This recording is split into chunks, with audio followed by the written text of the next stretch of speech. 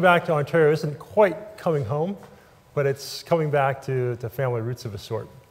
And in case you're wondering how, you know, how does, uh, how does somebody who's from Jamaica have connections to Sarnia? I mean, Toronto, I think, is pretty clear. I think probably half of my relatives are probably in the, in the Toronto area somewhere, as, as, they are for most Jamaicans. But the connection to Sarnia actually is interesting because it, it, it, it's not unrelated to the, the, the story I want to tell tonight. My parents were uh, born in Jamaica in very modest circumstances. And like most kids of their generation, going to school for them uh, was not just a means of education, it was uh, something you did competitively if you wanted to, to go on uh, to a better life. And namely, if you wanted to pursue your education further, you had to win scholarships because even middle class parents in those days didn't have money to send their kids uh, on to high school education and certainly not onto university education. So my parents uh, won scholarships to study at the University of the West Indies, which at the time uh, was the University College of London, uh, University of London West Indies campus. And so there they met uh, in Kingston, the University of the West Indies, the Mona campus, and got married. And my mother won a Commonwealth Scholarship, which is a scholarship, probably in, in from a Canadian audience, I don't need to explain what a Commonwealth Scholarship is, but uh, she was able to go study anywhere in the world uh, to get her PhD. my father, who was also very bright, but not quite as bright as my mom, apparently, won a scholarship and had to go take his scholarship up at the Illinois Institute of Technology, which was in Chicago. So my mother decided, well, then I'll do my PhD at the University of Chicago. So off my parents went to graduate school uh, in Chicago uh, in temperatures very similar to the, the, the, kinds of temperatures we're experiencing here today. And my sister was born. Uh, they were married at the University of West Indies and went on to graduate school. My sister was born in Chicago. So um, after my parents finished their PhDs in Chicago, with my mother doing her lab work uh, during the day and my father doing his at night so they could basically raise my sister, uh, my dad's first, my dad was a, did his PhD in chemistry. And his first job out of graduate school was working, I believe, don't quote me on the, on the, on the, on the company, I believe it was working for Benjamin's, uh, which I think is based in Sarnia. But anyway, his first job was in Sarnia, Ontario, working in the chemistry industry, chemical industry. And so my brother was born. Uh, and that, that, that point, we're talking about sort of the mid 1960s. So the mid 1960s was a very heady time, particularly if you come from the part of the world where I and my parents come from. Jamaica won its independence in 1962 uh, from Great Britain, and Barbados followed in 1966, and a number of other Caribbean countries uh, also achieved independence. Um, I, think, I believe Ghana was the first British colony to win independence in 1956. So this was a point in time where if you were people like my parents, if you had earned a PhD from the University of Chicago uh, in biology or a PhD in chemistry from the Illinois Institute of Technology, you wanted to go home. That, uh, that knowledge you'd acquired overseas to help build these newly independent countries. And so that's a long winded way of saying my parents said goodbye to Sarnia, hard as that was. I know it's hard for you to believe. Uh, maybe Sarnia is maybe not that, exci- that, exciting of a place, but uh, they decided to go back to, to Jamaica.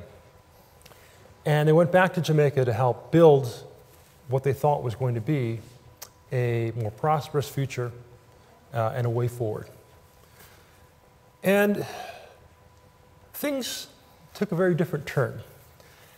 And it's the, the turbulent times of the early 1970s uh, in Jamaica, uh, the turbulent times in many developing countries around the world, countries that were called third world countries. So Jamaica was part of that group of countries in which countries seeking independence seeking to establish their own systems that they could, in fact, be uh, uh, self sufficient countries was the context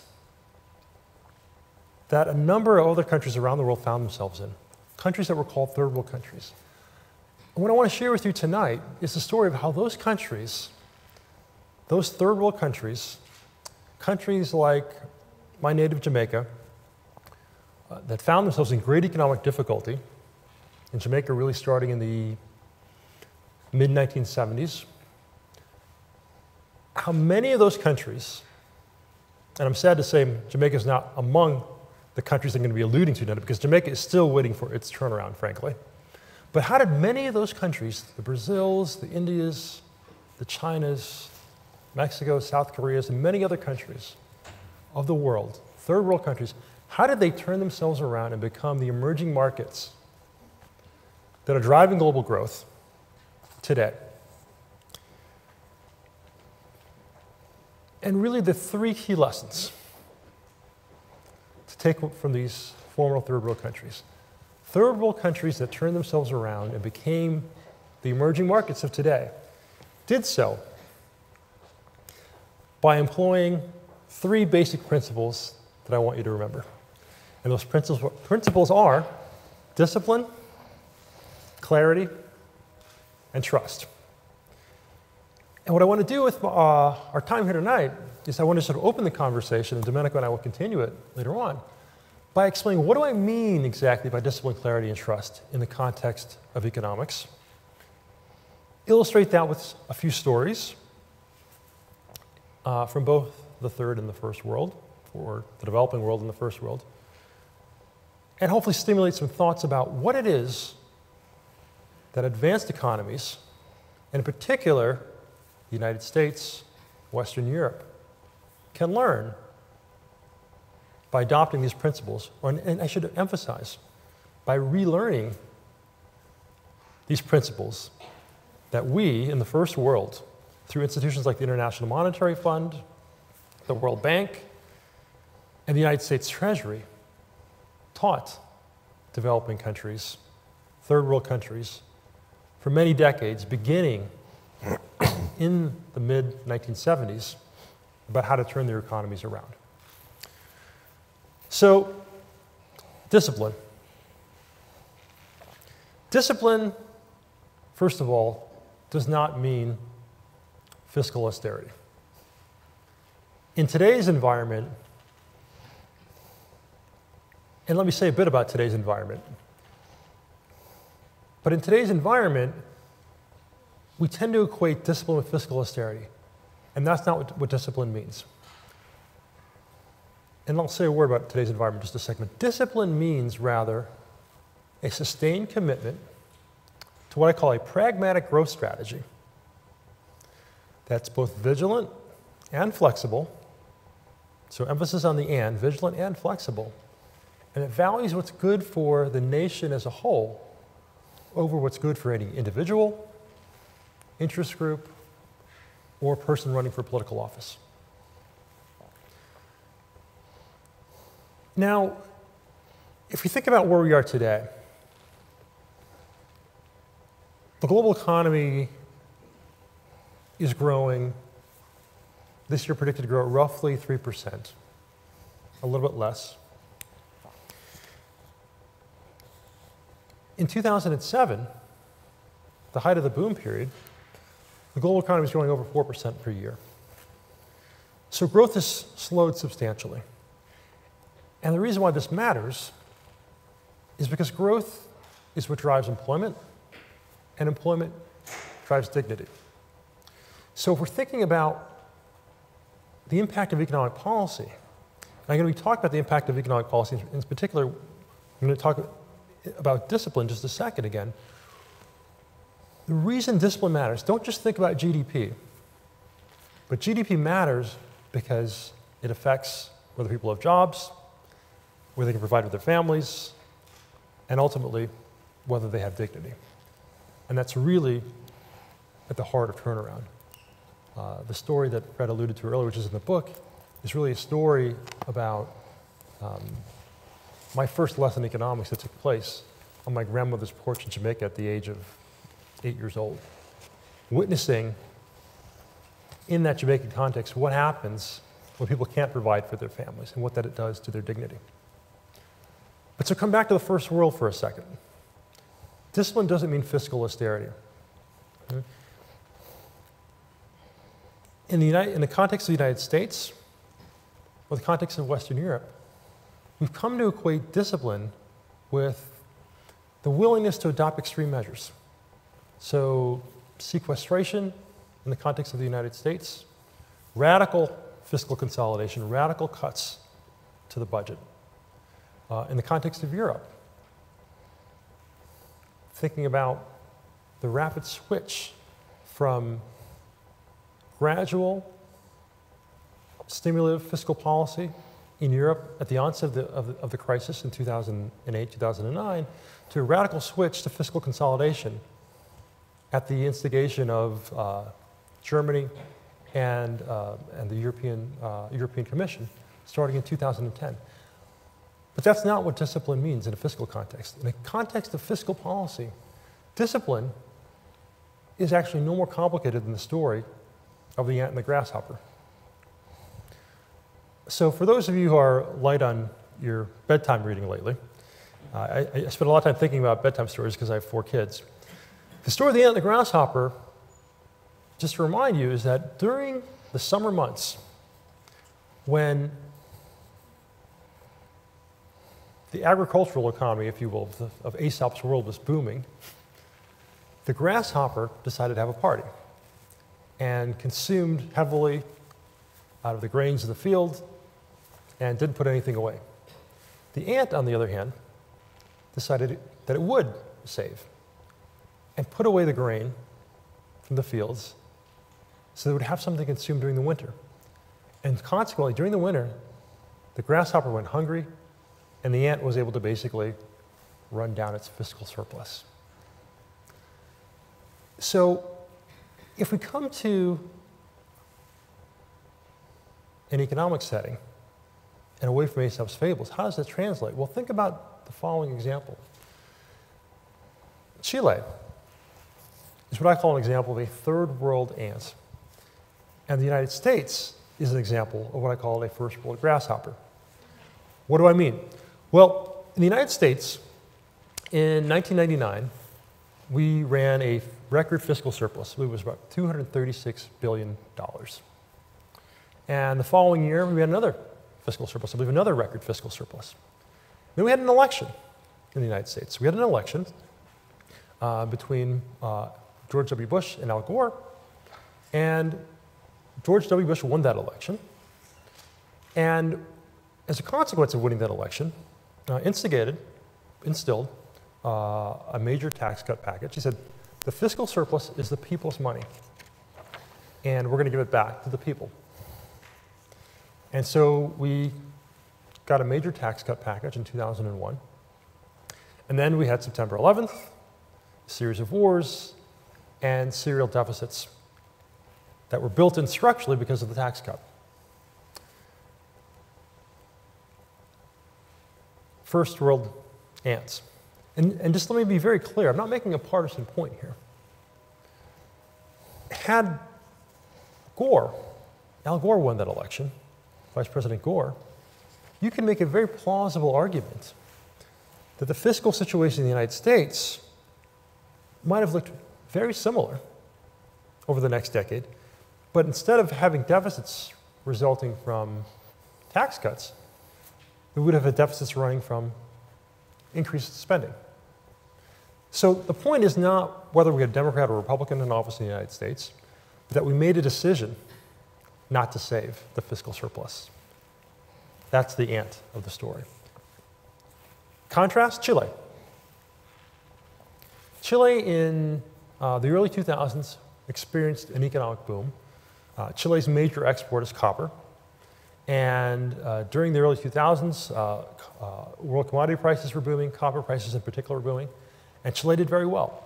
In 2006, uh, Chile had a record uh, fiscal surplus. I believe, the, I believe that the, the, the, surplus of the treasury swelled to something like $36 billion.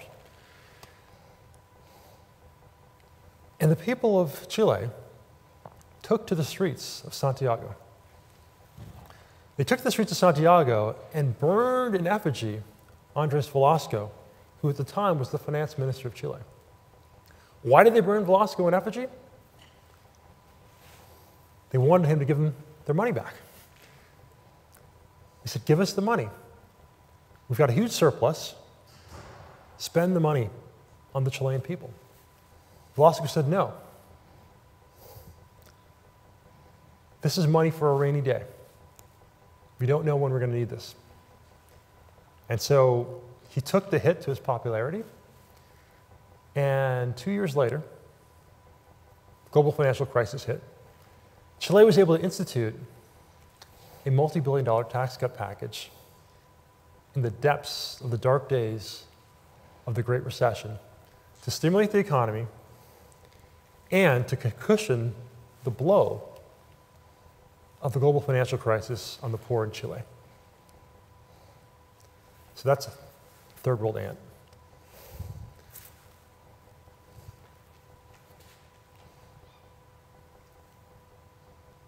Great contrast between the way Chile handled their fiscal policy and the way the United States handled their fiscal policy.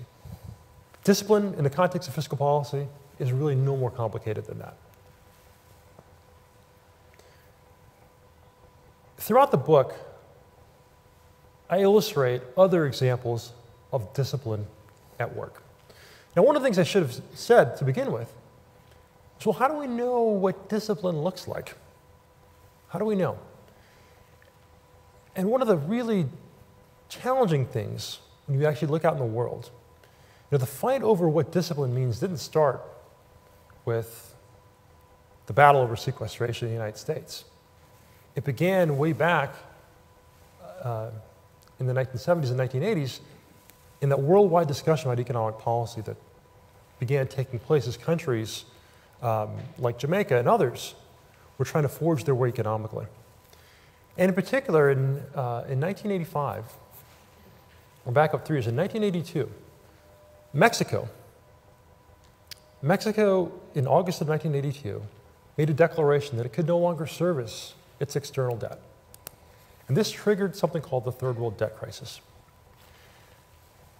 Three years after Mexico signaled its inability to pay its debt, a very important set of meetings was held in Seoul, South Korea in 1985. In October of 1985, there was a meeting, set of meetings of the World Bank and the IMF, the annual meetings. and at those meetings, then Secretary of the United States Treasury, James A. Baker III, went on behalf of his boss, Ronald Reagan, President Ronald Reagan, the United States government, to outline a speech, give a speech on what he believes constituted economic discipline. And in that speech, it was called a Program for Sustained Growth. Baker outlined what the United States Treasury, the World Bank, and the IMF believed that Mexico and other third world countries needed to do to grow out of their debt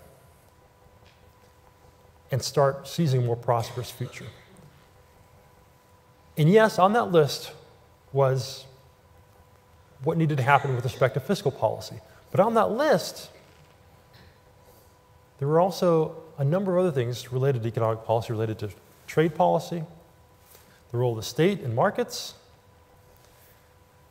the role of foreign capital in economic development, and so on and so on. And so when Baker unveiled this list of reforms, which later came to be known as the Washington Consensus, in this context of newly independent countries, now fallen into great debt as a result of, in many cases, economic policies that were not particularly wise, being told by the US government, essentially, and the international financial institutions what they thought that third world countries should do to get out of the crisis. This list of ideas was not particularly well received. And the battle over what discipline means in the context of economic policy, from fiscal policy to the other items that I mentioned, became a very heated political discussion.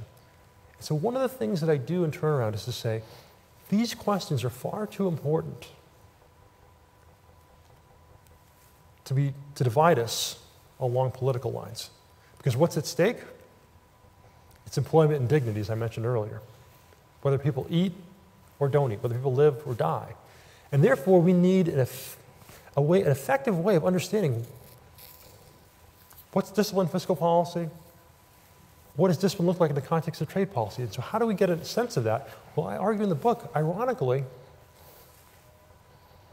the most useful tool in many ways to understand what efficient policy looks like is to look at how the stock market in these same third world countries responded when governments made decisions to implement economic policy changes that were on that list of things that Baker outlined.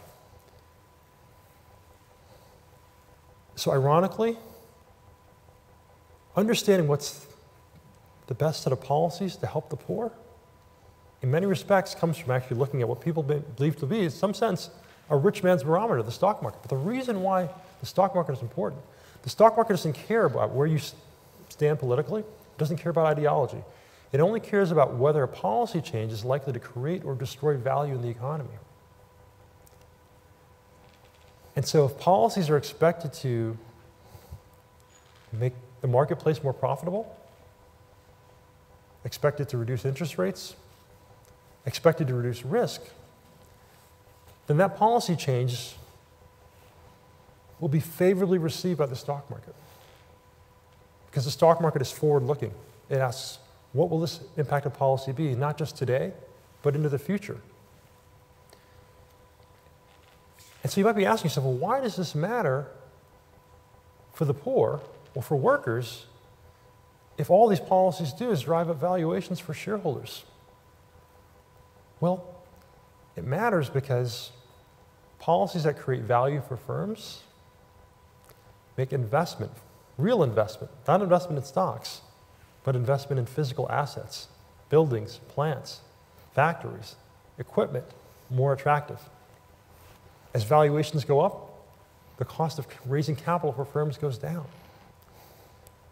And as firms invest in new equipment, workers become more productive. The demand for labor goes up. And that tends to drive up wages and employment. So, good policies, policies that are good for business, are a necessary but not sufficient condition to create the conditions for prosperity for society more broadly. So when I say, what does discipline mean in the context of fiscal policy, and I talked about the ant and the grasshopper, I just want you to know that underlying what I've just said are 35 years of historical data looking at how the stock market responds to fiscal austerity, for instance, implemented in the context of developing countries. That's what I'm basing that statement on. So, moving from discipline then to clarity. Remember, I said there are three principles discipline, clarity, and trust.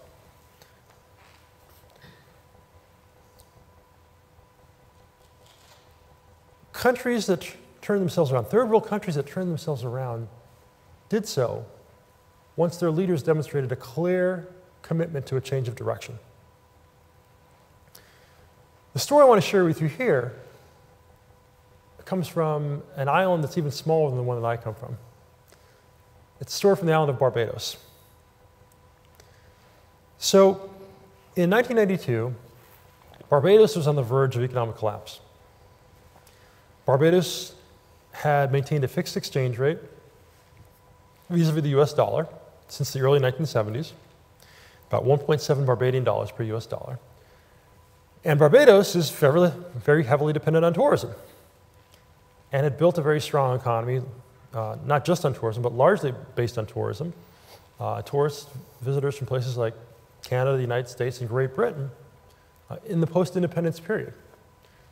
But in 1982, the United States was suffering from the savings and loan crisis, and North America was in recession. And Barbados was having a hard time paying its foreign debt, was running out of foreign exchange. So the International Monetary Fund, the IMF, sent a team of economists to Barbados to tell Barbados what it ought to do to avoid running out of US dollars, essentially. And the IMF's recommendation was you need to devalue the currency.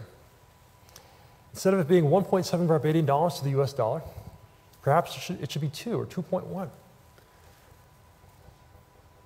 The leadership in Barbados said, We don't like this idea very much. Because our fixed exchange rate is our way of keeping inflation low because if we devalue the exchange rate, everything that we import from cornflakes to cars is going to be more expensive, and workers are going to understandably ask for pay increases. And if workers ask for pay increases, then employers are going to then pass on those pay increases to consumers, and we're going to get into a wage price spiral. So we don't want to do that. But unlike what typically happens in other countries when the IMF makes a recommendation, the government doesn't like it. For instance, in say Greece or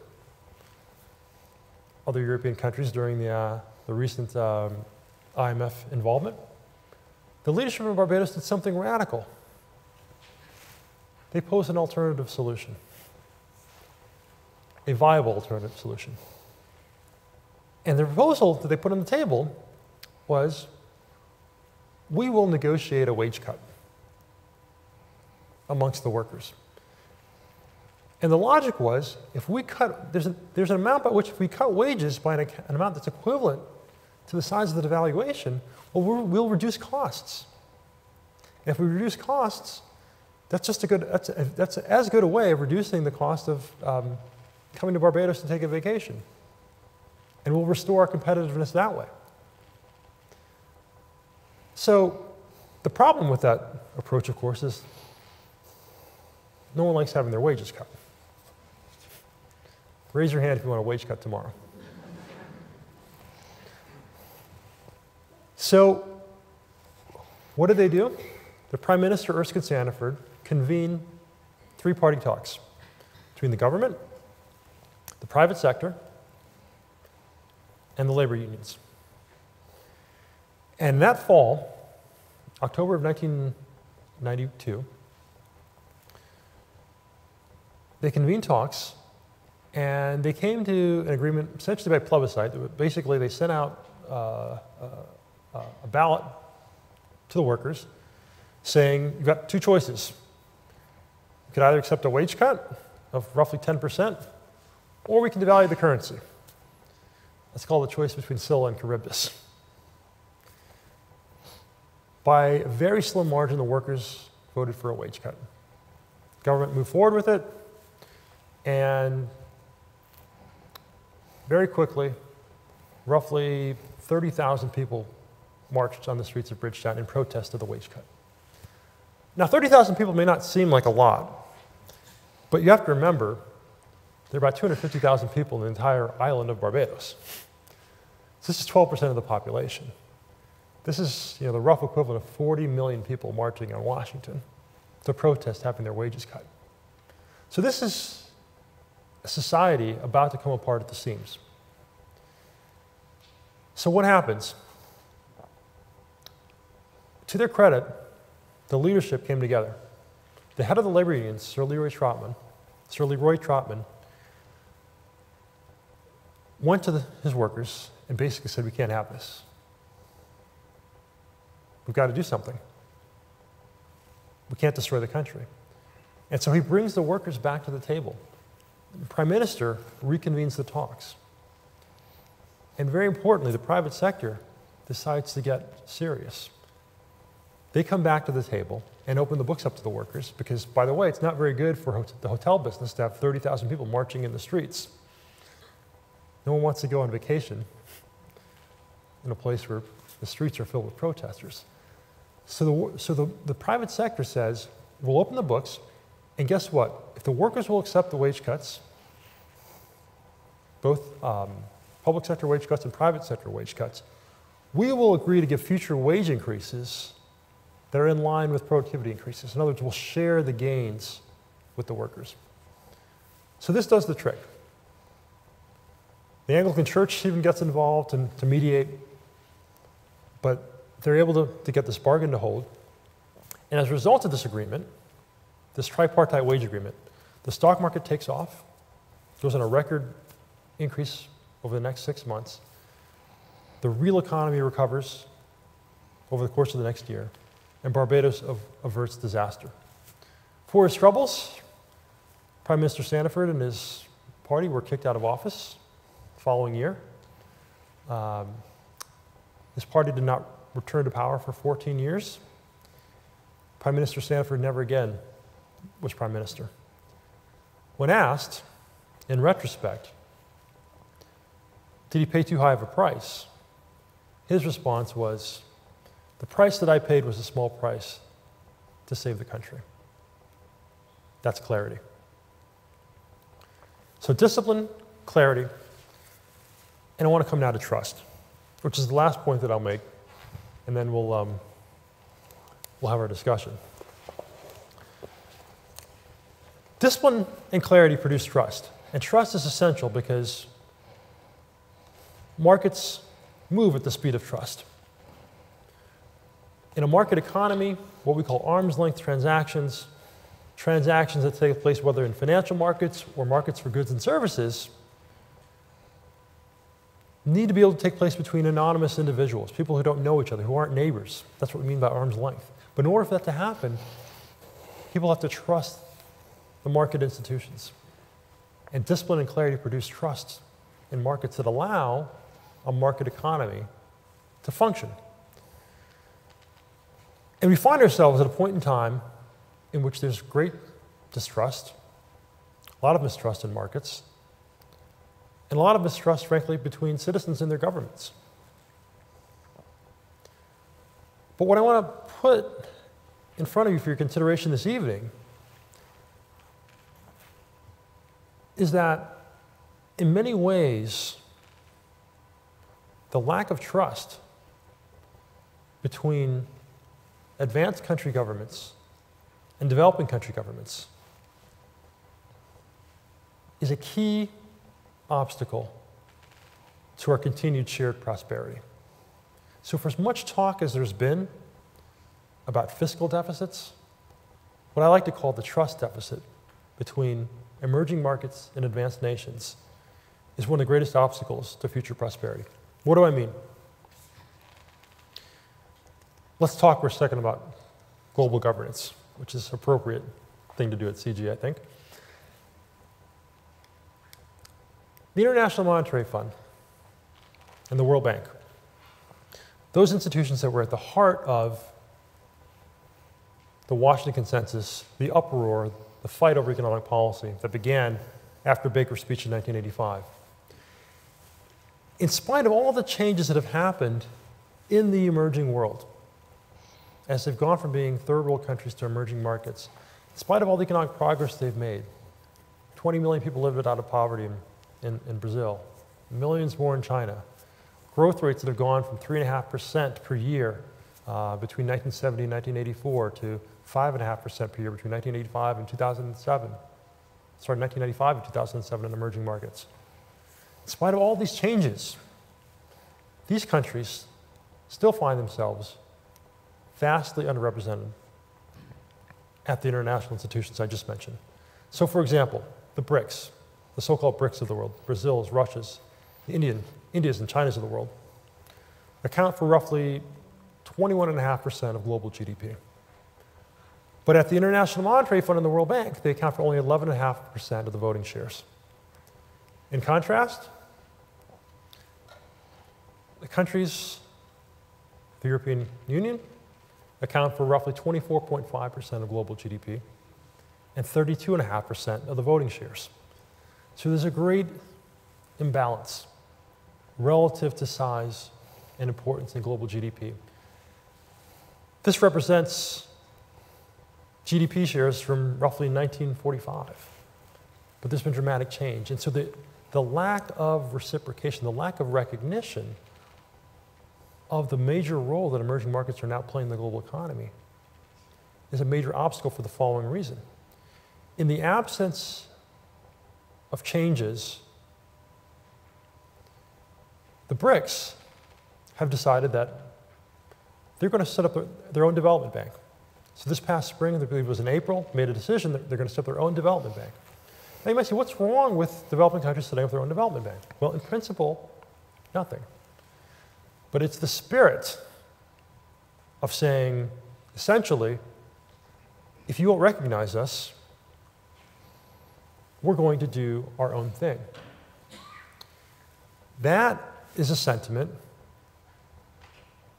that, if allowed to continue to flirt, to grow, has the danger of leading to bilateralism as opposed to multilateralism in trade agreements, more resentment, protectionism, and a view of the world which, frankly, is a zero sum view rather than a positive sum view. Now, it should be said, I should say, that in 2010 in South Korea, the G20 met and approved IMF reform. The G20 finance ministers and central bank governors all agreed that it would be a good thing to move two of the 24 voting shares, two of the 24 seats on the IMF executive board from Europe to the emerging markets. But this hasn't happened. Why? Well, in order for IMF reform to go through, it has to be ratified by 85% of the shareholders. The shareholders of the IMF are the roughly 160 countries of the world. There's one very large shareholder in the IMF called the United States. It holds 17% of the voting shares. 100 minus 17 is 83, which means the United States has veto power. The United States, in, in particular, the House Committee on Finance and Trade,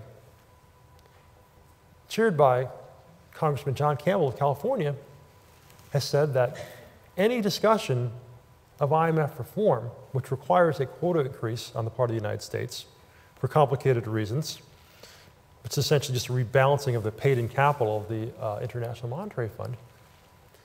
Any quota increase by the United States must be tied to the sequestered budget debate.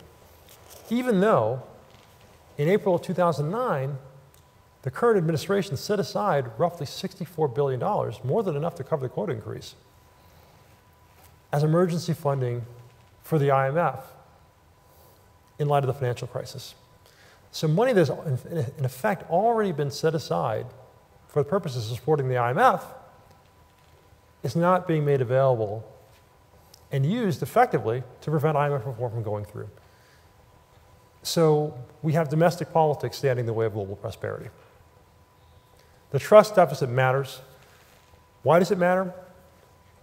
Because the reforms, the discipline, the clarity, and trust in a domestic context that governments in emerging markets have worked, in many cases, so hard to build over the course of the last two and three decades to drive that turnaround from 3.5% growth in emerging markets to 5.5% growth. That increasing growth that drove up employment and pulled people out of poverty. More reforms have to happen. So the story here is not that emerging markets have arrived and, that, and that advanced nations are on their way down. The point is, we all need to rise together. And the only way to rise together is if the advanced nations of the world adopt the humility to get outside of themselves and look at third world countries and uh, look at the lessons of third world countries over the past three decades and realize that we need to have discipline, clarity, and trust in everything from monetary and fiscal policy to other domestic reforms. And if emerging economies continue down the road of reform they started so many years ago. But in order for emerging economy leaders to do that, to apply discipline, which says doing what's right, good for the country as a whole, in spite of difficult domestic political trade offs, that requires political capital. And it is very hard to continue down a road of reform that came to the emerging world initially from the first world if the first world won't embrace and give emerging markets, frankly, their responsibility on the global stage. So that is why the trust deficit matters. So, just to wrap up then, third world countries turned themselves around, became emerging markets, the ones that did, by adopting discipline, clarity, and trust in order for advanced economies, first world countries, and third world countries to seize a more prosperous future for all of us, to go from 1.2% growth in the advanced economies back to something resembling trend growth, which is closer to 2%. We need emerging economies to continue to grow. In order for them to continue to grow, they need to continue with discipline, clarity, and trust. In order for advanced economies to get back on track, we need discipline, clarity, and trust. So we all need to adopt these principles in order to have a more prosperous future. Thanks for listening, and I look forward to what Domenico has to say.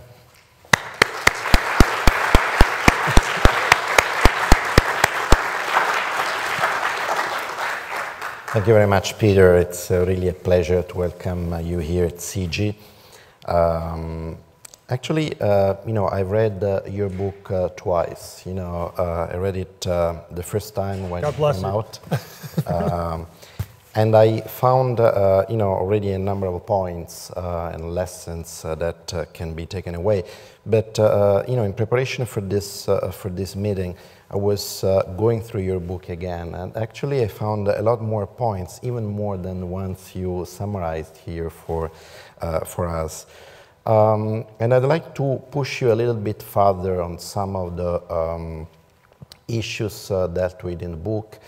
Um, let me first say that uh, uh, you know it is not uh, common for you know economists to be able to summarize so effectively uh, lessons from uh, uh, policies um, that have been implemented really everywhere um, um, in the globe, from Latin America to Asia to Europe to the Caribbean, and you do that very effectively. And uh, also, um, clearly, your um, line is uh, always scientifically grounded, but uh, at the same time, the way you underpin your thesis is always very accessible. And I think this is really one of uh, uh, the strongest feature uh, of this book. But, uh, um, you know, on top of, you were mentioning discipline, clarity, trust. Actually, as I said at the outset, I do see there is um, a lot more in your book. Hmm. And uh, so, first of all, um, if, uh, you know, economics is a science, definitely the, um, you know, economic policy making is an art. And uh, this means that, you know, some, some very often, uh, you know, there are more failures than successes. Yeah. And very often successes actually originate from failures. And I think this is really the thrust, or at least in my understanding, this is the main thrust of your book, where you know the fact that the th so-called third world is providing lessons to the first world that does not arise uh, out of um, uh, you know being right in uh, their own vision of the world, but actually this this is really the outcome of a long experimentation of pain, of um, um, really um, failures, and also it's about being brave.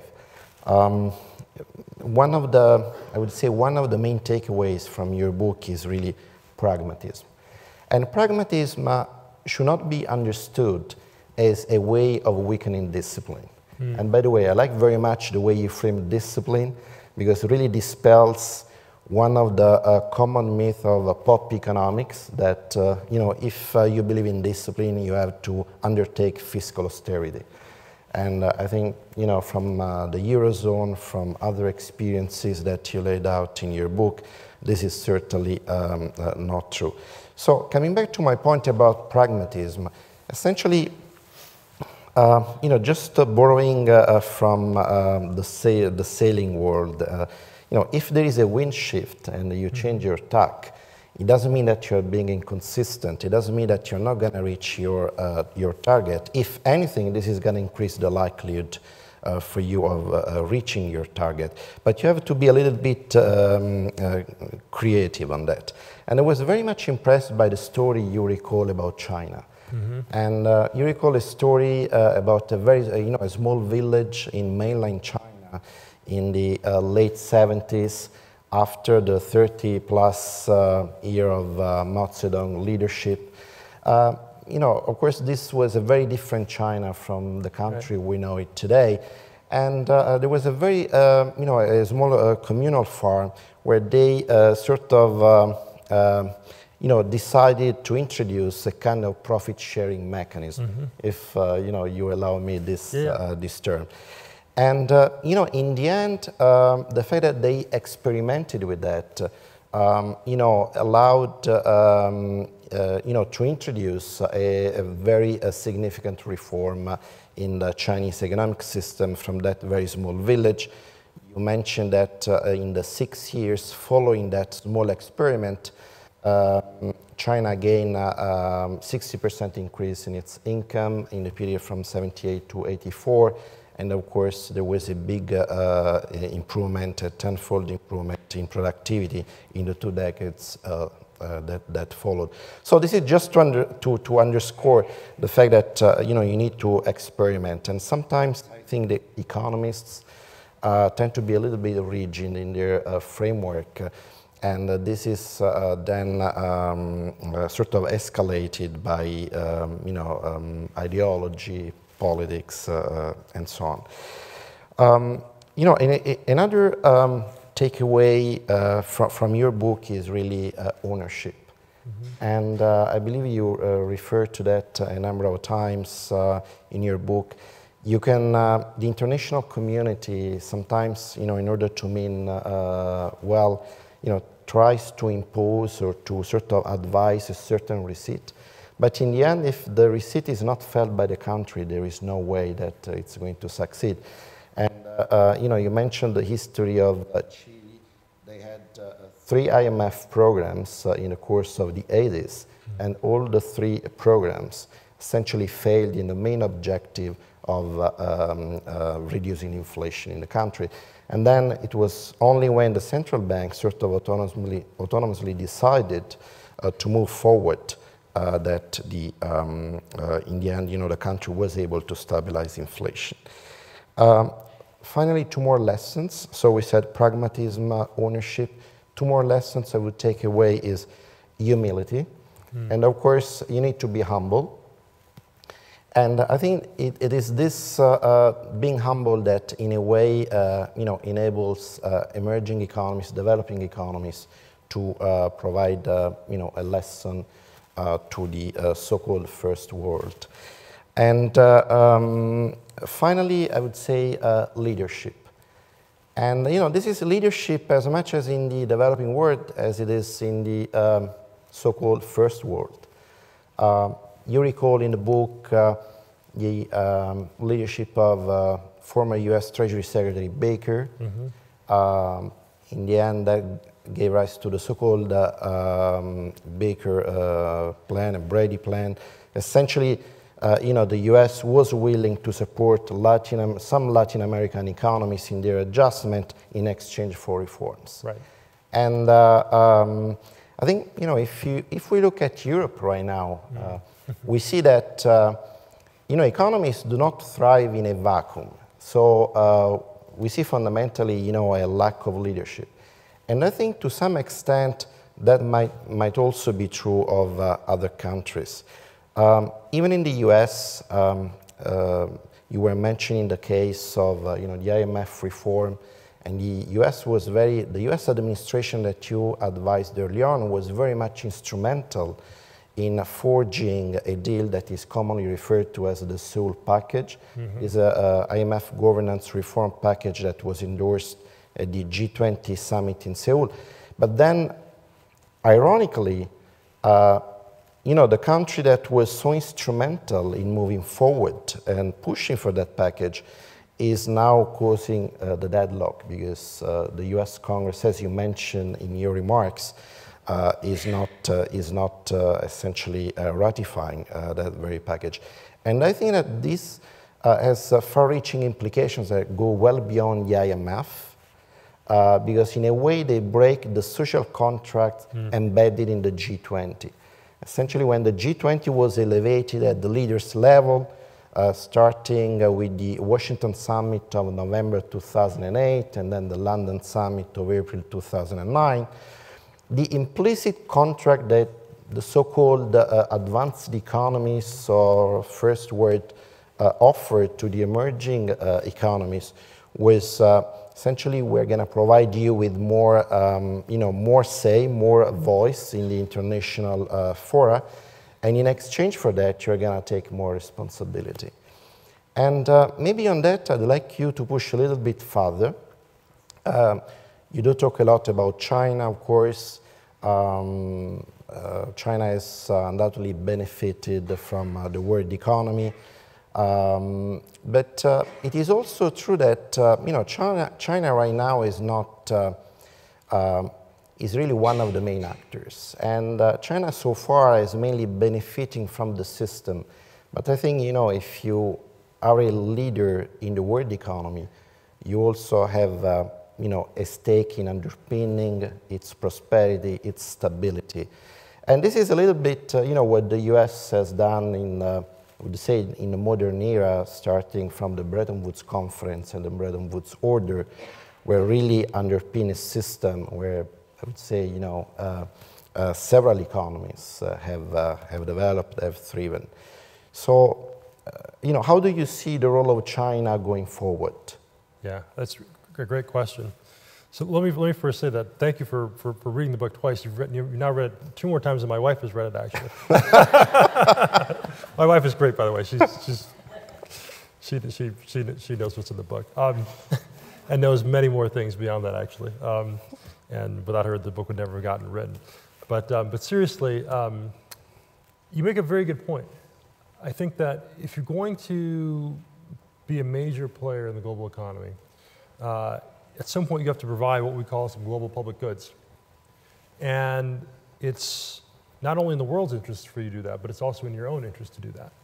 And I think you very eloquently kind of frame what I'm referring to as the trust deficit in another light, where it's kind of like turning the facet of the, of, of the diamond, uh, which is to say that we must give countries more responsibility so that they can no longer hide behind the excuse of not having a say, right? Um, there comes a point in mature, of maturity of your place in the global economy uh, if you are the world's second largest economy, whether, or, or if you're Brazil, not just, just China, where instead of being the voice of contrarianism, uh, the rebel voices, as Fred put it earlier, the voice of rebellion, you now have to be part of the group and show that you can lead rather than just instigate um, the need for change from the outside and actually propose, you know, like in the case of Barbados, alternative solutions. And so I think we are at this next natural stage. And the question is whether we can have the humility and also to, to, to, to bridge this trust gap. And then uh, I think we've got, it's incumbent on us as advanced nations to take that first step forward uh, or to extend the hand and then to see what, um, what the emerging economies will do. Because if we don't do that, uh, we're going to continue to have this sort of seething relationship, this lack of trust. And these other countries don't ever get a chance to fulfill the social compact. Yeah, it's interesting because um, a few, um, you know, a couple of months ago, um, I was with uh, some of my CIGI colleagues in St. Petersburg at the G20 summit. And uh, I think that was the first time ever that the BRICS economy, which you mentioned, actually uh, gathered at the margins of the G20 summit and issued their own communique. Mm -hmm. So my question is more uh, to what extent they try to sort of stick together just to uh, increase their bargaining power vis-a-vis -vis the advanced economies, or they have a common, a common agenda. And uh, to me, I think uh, this is still unclear. Maybe it might be unclear also to uh, the BRICS economies themselves. Maybe uh, you have some further thoughts on that. No, I think you're right. I think it remains to be seen. I think, I, I think a big element of it right now certainly is um, we're not being allowed to play uh, at the same table on the same field as everybody else, or at least in the same way. And so we're going to get attention. You know, I've, I have four children and four boys at home. And, you know, when you're, when you're not part of the conversation, you tend to make trouble off in the corner. And I think there's a certain element of that. And I- I think there's responsibility both ways there. It's both incumbent on, on the advanced nations to say, hey, wait a minute, come back into the conversation. No, you're too big. Um, you're too advanced at this point in your economic development to be off in the corner, you know, playing your own game. But those, uh, the BRICS also are rightly saying, well, give us the responsibility. And so I think there's a bit of a, a bit of a game of chicken being played.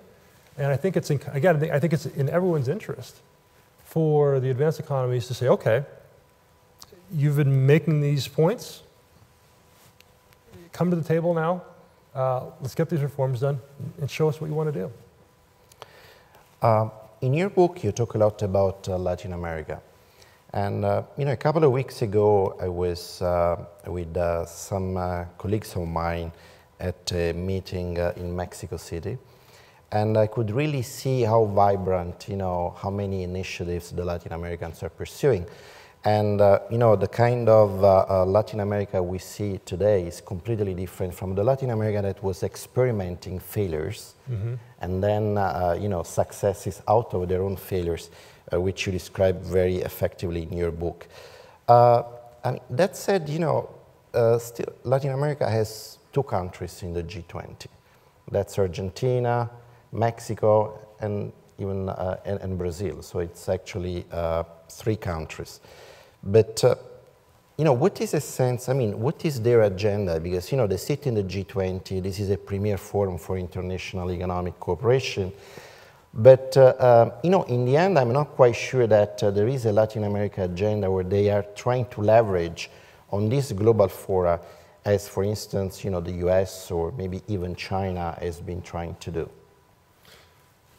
I think it's a, it's, a, it's a very good point, and I think there is, at the moment, a certain amount of disharmony and disorganization amongst not just Latin America, but developing countries generally as to what their agenda should or needs to be.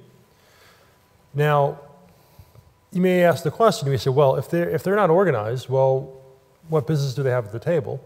But again, I think there are two sides of that story.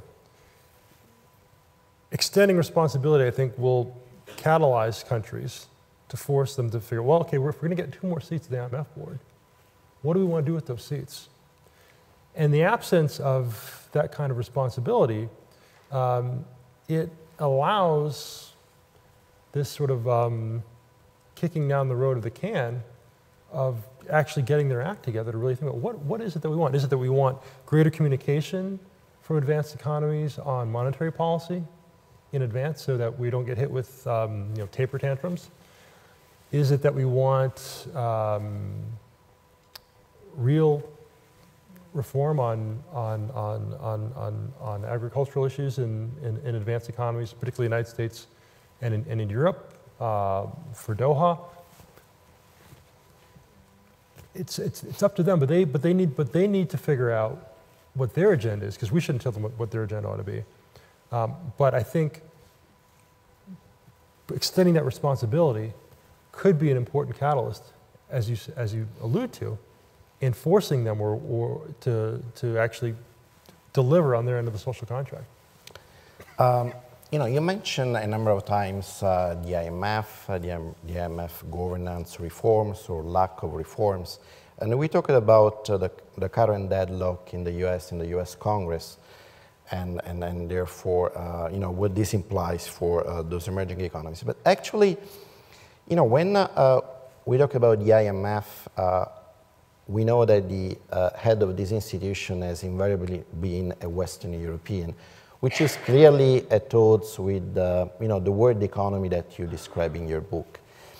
And yet, you know, when we talk about China, you know, being the second largest economy in the world, when we talk about the BRICS, um, you know, at the latest uh, selection uh, of the IMF managing director, um, you know, there were some advanced economies, and you know, we are in Canada, and I understand Canada was one of those that actually supported a candidate from um, an emerging economy, uh, Mr. Carstens from Mexico.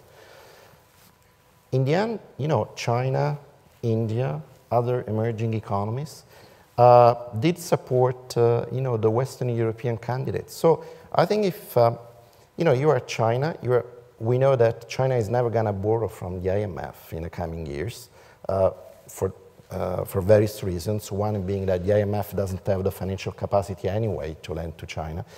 So what it takes, you know, for China to say, look, from this moment onwards, I'm going to try to set my own rules of the game, and I'm not going to vote for a candidate from Western Europe as it has been from 1946 till now.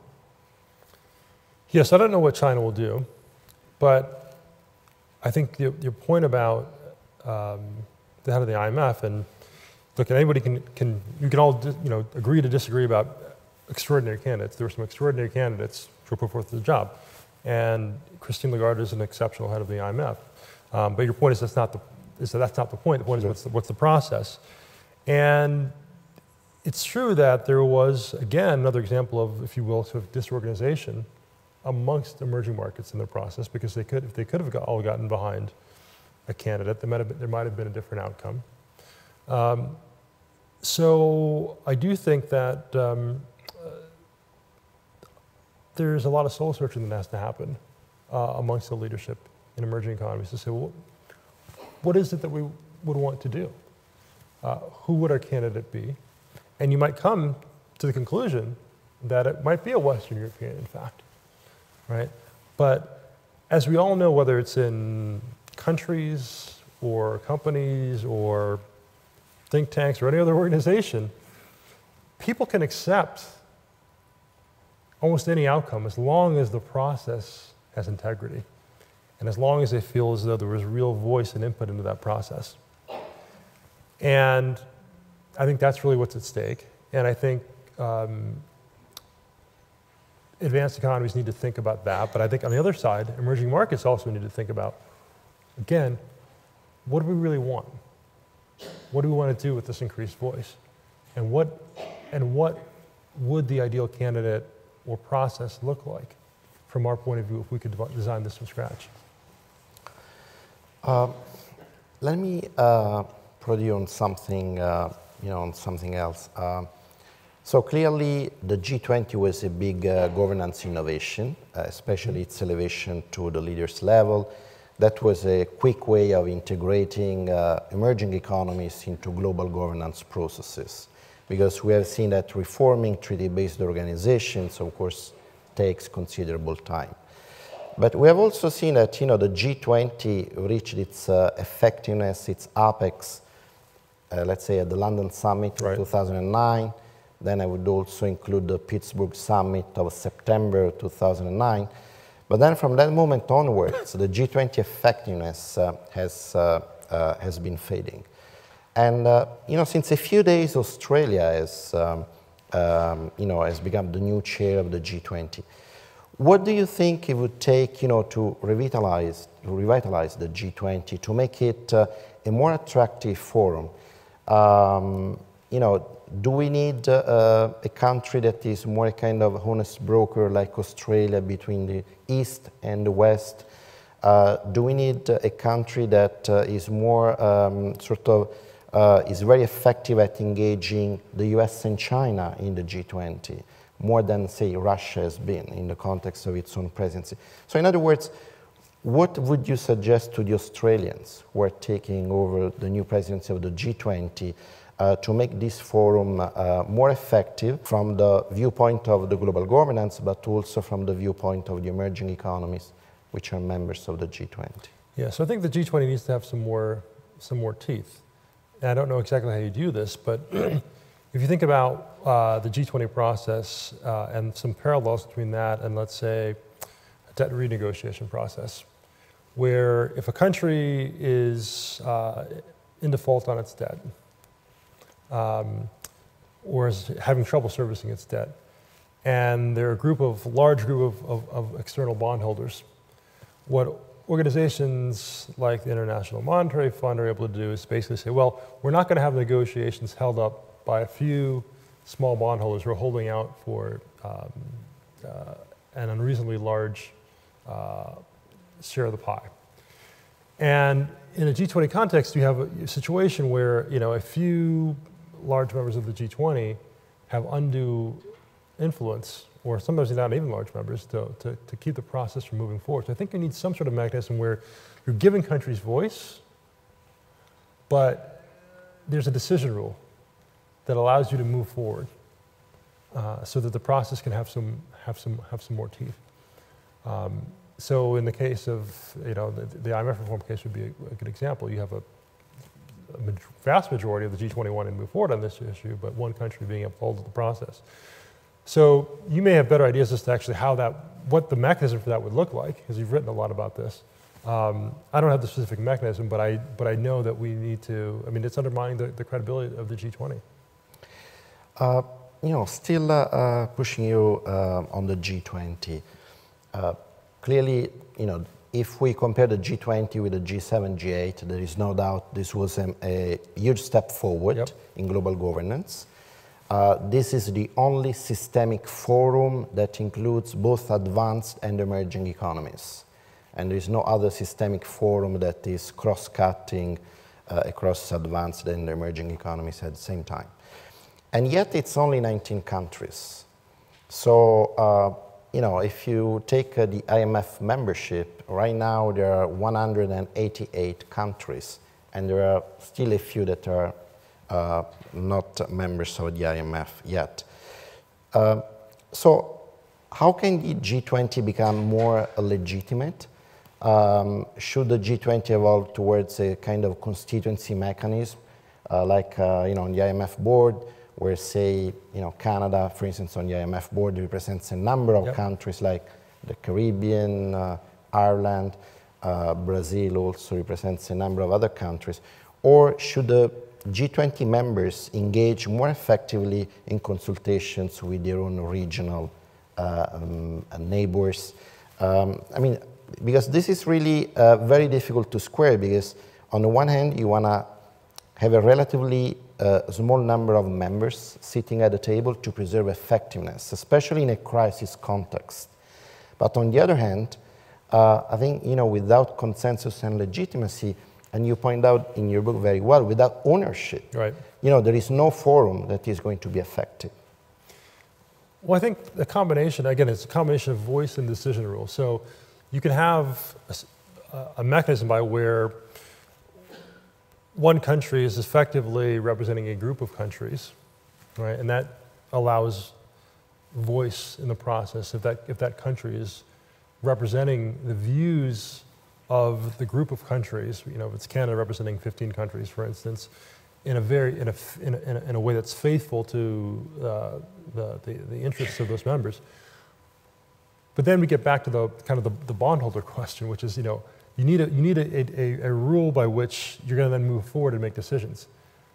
Because if you allow every single bondholder or country uh, to have equal weight in some sense in forestalling decisions, then you have, you're waiting for consensus that's never going to happen. So you need some combination of voice, but then once discussions have been had and we all agree that that process is a fair process by which dissenters can express their views, then you need a, a mechanism to move, to move forward. So using the categories or the lessons that I've drawn from your book, you need to be a little bit pragmatic. Absolutely. Uh, Absolutely. well, uh, thank you very much, Peter. I think uh, we could uh, open up uh, to the audience and see whether there are any questions. We, um, so there is a microphone over there. There is another microphone on my right, right-hand side. I would invite you to, uh, you know, to uh, state your name and uh, affiliation, please.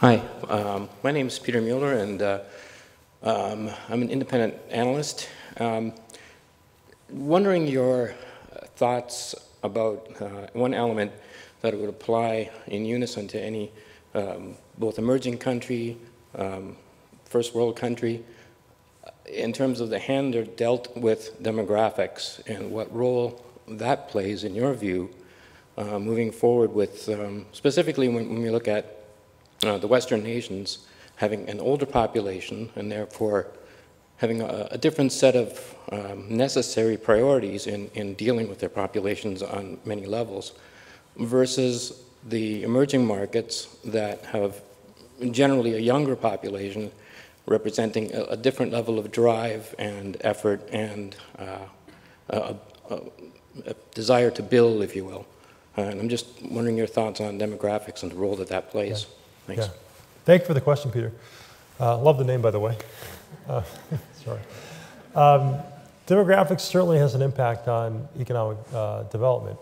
And, you know, what, to take the discipline framework, you know, what, what discipline is going to mean for you is going to depend very much on what your demographic structure looks like. So for countries that are aging and have to deal with uh, essentially a, a slow, slow grow, growing, growing labor force, well, one of the key questions that's going to come up, whether it be in Japan or uh, countries of Western Europe, is what's your stance going to be on immigration? Uh, because if you have a slow growing labor force uh, and a rapidly growing uh, retiree population, for instance, uh, for whom you need to provide both services but also resources, uh, if you're not willing to embrace immigration, uh, well, then you're going to have to be willing to li live with lower, lower living standards.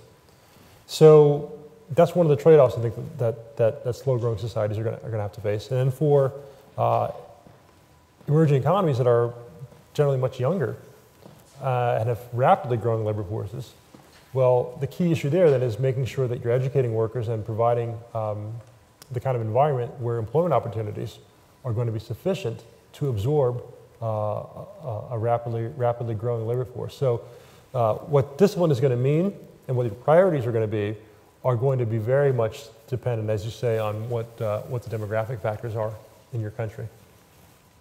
Thank you. So we have another, we have another question. Yes? Um, my name is Bob Thomas, and I'm from Southern Ontario, but I have been um, a project manager for an NGO that has had projects in Latin America. So I've been going to Brazil primarily since 1991, and I've followed some of the progress in Brazil and very interested in Latin America. But um, coming back to the three points that you raised, um, and don't get me wrong because we have many American friends, but frankly, I don't see trust, clarity, or any of these concepts in American policy.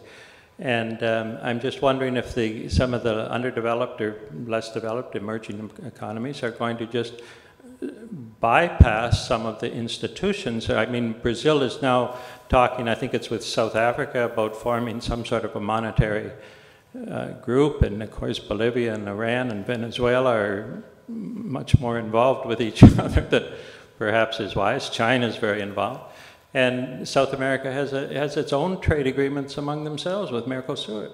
So I'm just wondering if down the road, rather than the existing institutions accepting, as long as the US has a veto, I just don't see that happening. I'm wondering if some of these emerging economies are going to say, we'll develop our own institutions and organizations. I don't know. It's, a, it's an excellent point. And as you, as you say, we're already beginning to see some of that happening.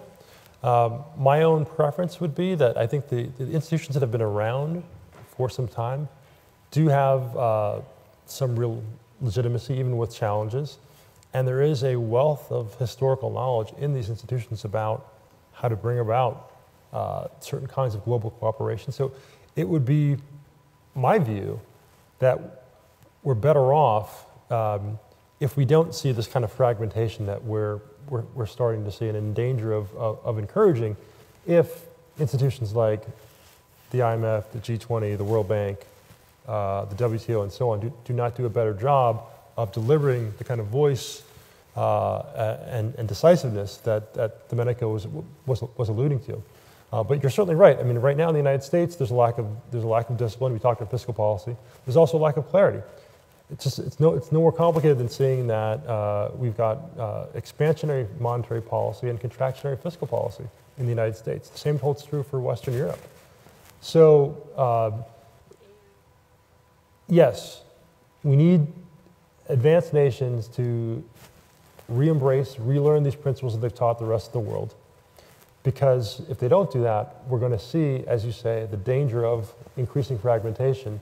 Um, and it sends the message that, in fact, uh, discipline, clarity, and trust can be bypassed when, in fact, history tells us that they can't be. Is it a danger of fragmentation, or would it be an advantage to create other institutions? Well, again, I think the key thing is avoiding, most specifically, a mentality of, of, of zero sum outcomes. Because if you get into, if you begin thinking that, well, gee, um, if I'm Brazil and you know Indonesia's devaluing their currency, well, gee, I need to devalue my currency so that I can compete with them, and that, and that sets off you know what we call beggar thy neighbor devaluation policy, and so you can very quickly, and, and Domenico made a very good point. Think about what's, what's China's role in the global economy. Well, there's a big difference between being China and Barbados, right? If you're a country like Barbados and they didn't devalue the currency, but if they decided to go down that route, the repercussions for the rest of the world are very small because Barbados is very small. If China makes a decision that it's not going to allow its currency to, to float or to appreciate in value, even as its, economy, its economy becomes stronger, that has a big systemic effect on the rest of the world. Or if Europe as a whole, uh, the world's largest economy, if you take Europe as a whole, decides to all pursue fiscal, all those countries decide to pursue fiscal austerity at once, that has a huge multiplier effect on the rest of the world. And so my point is that fragmentation, zero sum thinking, well, it may be innocuous for a few small countries to do that when it begins to gain critical mass for larger countries and blocs can be very dangerous uh, to the world economy. That's precisely why um, uh, post, uh, post, post World War II, we formed institutions to try to prevent the kinds of um, zero sum policies that, that uh, drove the world economy to the brink. Uh, Peter, uh, Actually, we have also an online audience who's following us uh, through webcast. And we have a, you can see that we are in Canada. Canada is traditionally uh, strongly advocated for a more inclusive uh, uh, global governance. And we have a question from Deb. She's asking uh, you, how could Canada play a stronger leadership role in supporting inclusion of developing nations in global economic conversations. And I think this uh, question is more a kind of follow-up on your book, um, and maybe you know you may want to uh, elaborate on that. Yeah. I think that, let me speak in general terms. I think, you know, China, I mean, it's not China, Canada uh, is an enormously respected country. Uh, um, Canada is considered, I think, a very honest broker. And Whereas there are larger economies in the world, um, I think Canada has the potential to play an outsized role in these conversations precisely because of its credibility and because it is seen as, seen as being an honest broker. And so, were Canadian officials to um, decide there's in, in Canada's enlightened self interest or broader global self interest uh, to really push an agenda, and that, that would have to be an agenda that was crafted out of many conversations about what would be the, uh, the most helpful set of two or three things to push for, for developing countries, I think uh, Canada could play a significant role. Do you, I don't know what's, what's your view. No, I, I absolutely agree. Um, and, you know, of course, Canada did play a leading political as well as intellectual role in establishing the G20 yes. uh, towards uh, uh, the end of the 90s. And uh, you know, I, I, I think I, one can safely say that CIGI also intellectually contributed to underscore the need for elevating the G20 to the leaders level, which was eventually uh, acknowledged by um, the G20 leaders, and, and uh, uh, you know, the rest is history of these days. Uh, but I have another question from David Kempthorne of CIGI. Thank you. Um, I, I guess for me, just to turn it around um, a little bit in terms of Pardon the pun. what, what are the lessons um, of the third world for the third world going forward?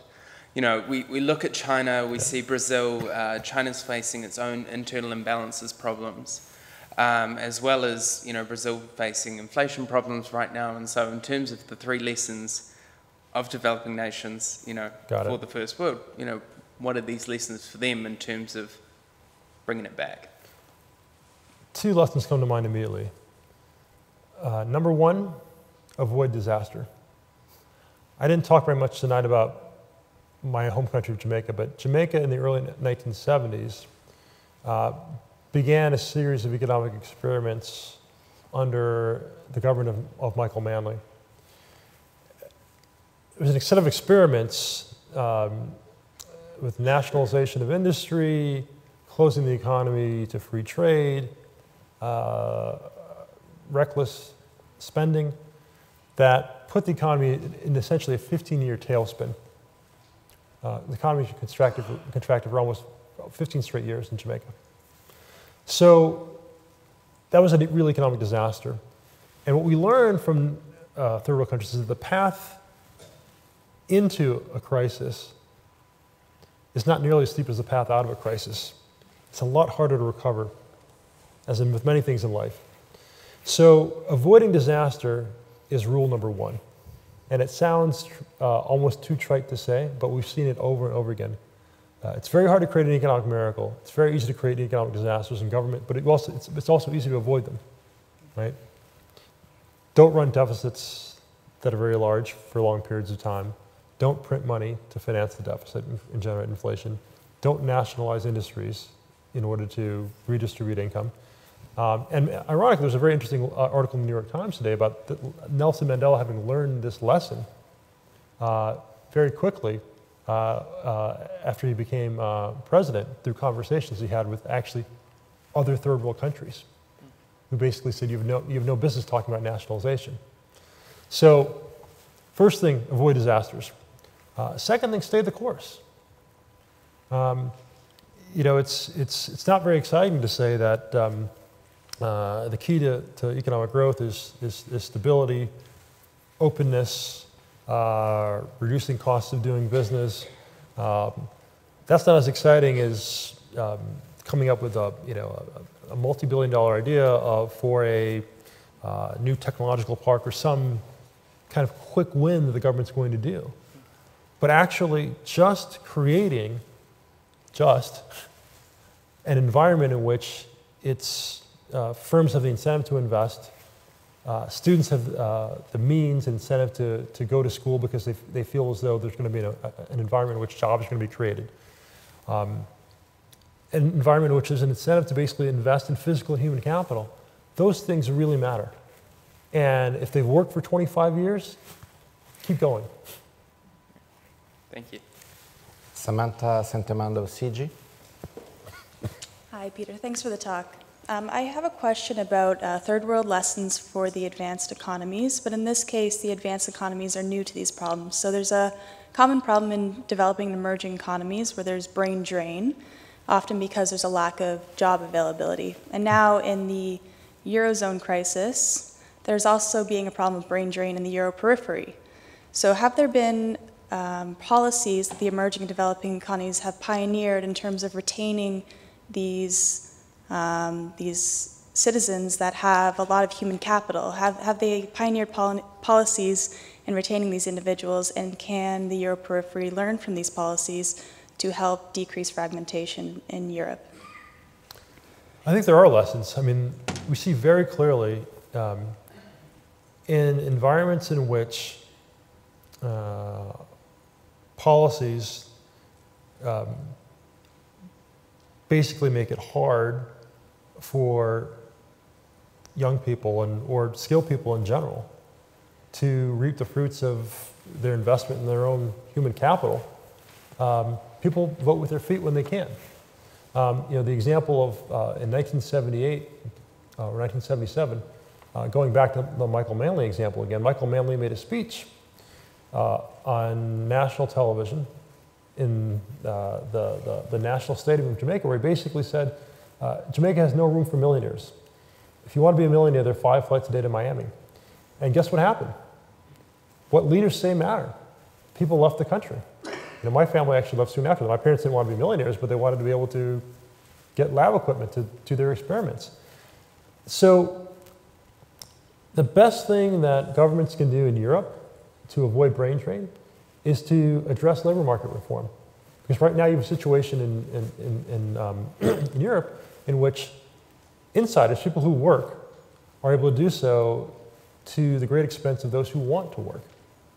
So uh, making it easier to hire and fire workers so that firms uh, have greater incentive to hire workers uh, will be a great step in the right direction.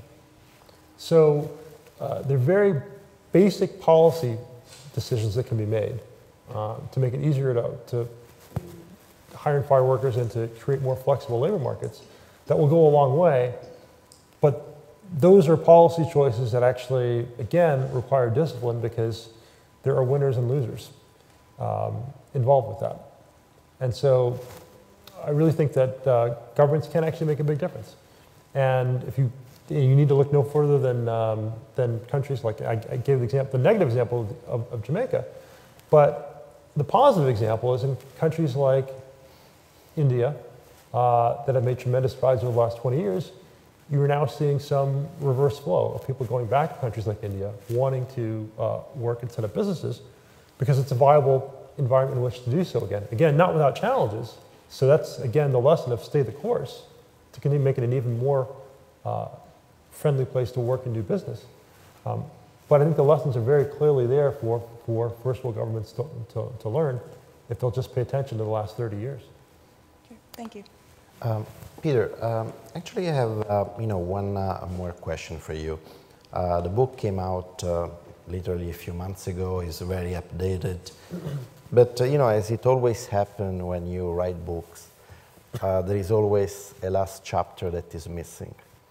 So, you know, what is really the title? Can you summarize for us what is the last chapter that you didn't manage to include in this book? oh boy. the chapter that I wish I could have written, um, but don't know yet how to write, is how do leaders actually get it done? So I mentioned an example, you know, when, when, when, when, when disciplined things happen, like they you know, I give the example of Barbados. Um, you mentioned China in the case of pragmatism. What are the lessons that you can glean across examples of leaders who have been able to be disciplined? Uh, and, I'm, in particular, I'm interested in thinking about leaders in a democratic context how do you get it done? And because that's the question that I get all the time.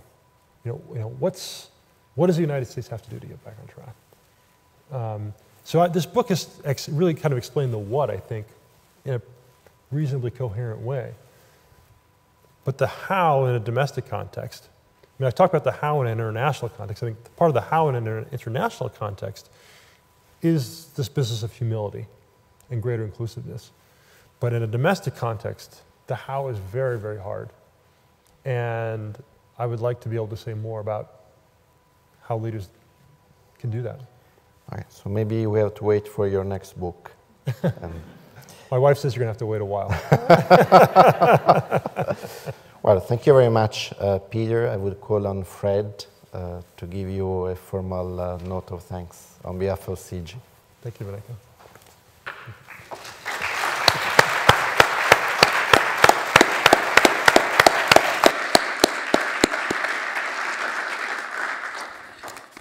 Yes, thank you, Peter, for your uh, very uh, challenging and interesting lecture this evening, and to Domenico for his excellent moderation of the uh, conversation and the questions. Uh, you spoke about the lessons of discipline, clarity, and trust um, that uh, were described in your book, the, the, lessons of these policies for creating growth, the need for nations to, uh, to rise together in this growth, and especially the need for uh, political will in the domestic economy to support these policies that foster trust. Uh, those are lessons well taken and they apply to the big players, and uh, those are the ones that will have the most impact in the global economy. Uh, so those are very important lessons for the entire world, and we thank you for those insights tonight. Thank you.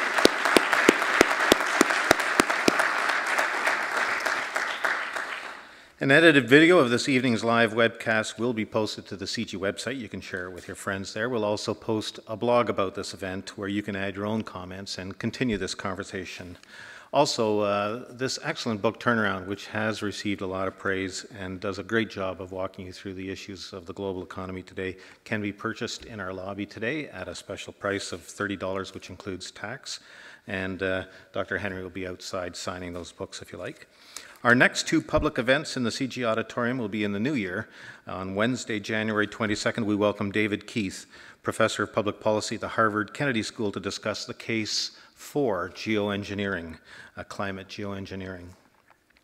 And on Wednesday, January 22nd, we present John Ibbitson, a Globe and Mail journalist who's joining CIGI as a senior fellow for one year while he takes a leave of absence from the newspaper to write a bi- biography of our Prime Minister Stephen Harper. John will be speaking on what he calls the Harper Doctrine, a conservative foreign policy revolution. So be sure to register for our events newsletter for information on all of our upcoming lectures, including our CIGI Cinema series. Thank you again for coming to CIGI this evening and have a safe journey home.